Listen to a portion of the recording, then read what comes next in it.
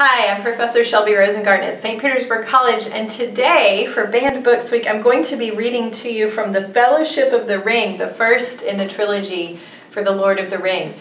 This book was banned in New Mexico, and it falls onto the American Library Association's list of 100 most challenged books because of the presence of magic.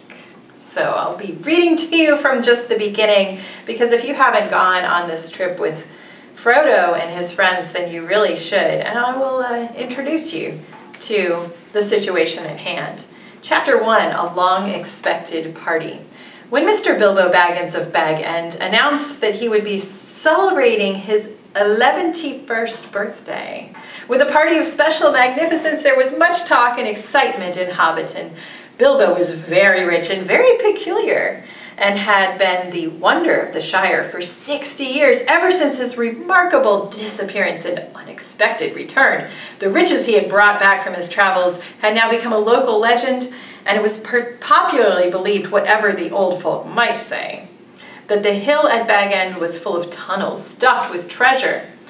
And if that was not enough for fame, there was also his prolonged vigor to marvel at. Time wore on, but it seemed to have little effect on Mr. Baggins.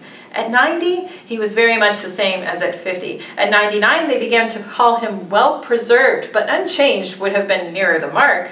There was some that shook their heads and thought this was too much of a good thing. It seemed unfair that anyone should possess, apparently, perpetual youth as well as reputedly inexhaustible wealth. Too much of a good thing, Lord of the Rings.